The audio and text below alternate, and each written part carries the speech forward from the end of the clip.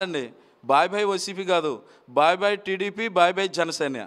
ఎందుకంటే ఈ రెండు పార్టీలు ఈ ఎలక్షన్తో రెండు పార్టీలు భూస్థాపితం అయిపోతాయి.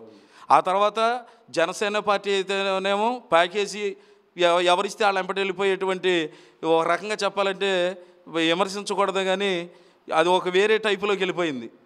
అది అటు ఇటు కానీ వాళ్ళు ఉంటారు కదా. ఆ పార్టీ లాగా అయిపోయింది జనసేన.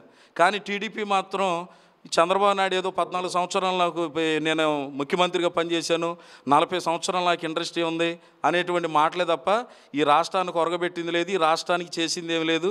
ఆయన ఇందాక మా బెదర్ చెప్పారు మా వాళ్ళు ఏంటంటే అస్సలు దళితుల్లో పుడతారా ఎవరన్నా అనేటువంటి మాట నీ నోట నుంచి వచ్చిందంటే దళితుల ఓట్లు నీకు ఎందుకు కావాలి? దళితులనే ఓట్లు నీవు అడగటానికి నీకు హక్కు ఎక్కడ ఉంది బాబాసాహెబ్ అంబేద్కర్ ఆయన ప్రవేశపెట్టినటువంటి రిజర్వేషన్లు అన్నీ కూడా ఇప్పుడు ఈ గవర్నమెంట్ వచ్చిన తర్వాత అమలవుతూ ఉన్నాయి. ప్రతి దళితుల నుంచి ఎమ్మెల్యే అవుతూ ఉన్నారు ఎంపీ అవుతూ ఉన్నారు ప్రతి కార్పొరేషన్కి చైర్మన్ అవుతూ ఉన్నారు ప్రతి గ్రామంలో పార్టీ వైస్ చైర్మన్ అని పార్టీ కన్వీనర్ అని పార్టీ ప్రెసిడెంట్ అని ఈ యొక్క వైసీపీ గవర్నమెంట్ వచ్చిన తర్వాత అంబేద్కర్ ప్రవేశపెట్టినటువంటి రాజ్యాంగం ఇప్పుడు అమలు అవుతూ ఉంటే దళితులుగా పుడతారా? ఎవరైనా పుట్టాలనుకుంటారా అన్నటువంటి నీవు దళితుల ఓట్లు అసలు నువ్వు అడగటానికి నీ ఎటువంటి అర్హత ఉందని చంద్రబాబు నాయుడిని మేము డైరెక్టర్గా ఒక దళితులుగా మేము ప్రశ్నిస్తూ ఉన్నాం.